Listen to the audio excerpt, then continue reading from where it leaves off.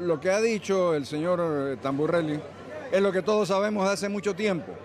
Lo que pasa es que es una especie de que tú necesitas como que la gente se lo diga a uno para decir, ah, era verdad lo que nos estaban diciendo. Es verdad.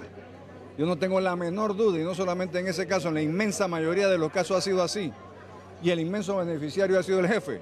Ni siquiera son los que están presos.